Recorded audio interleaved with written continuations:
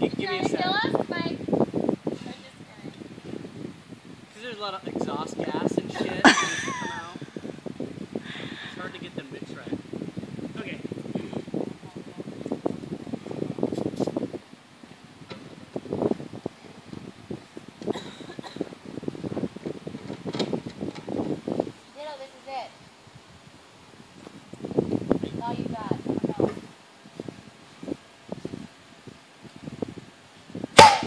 Let's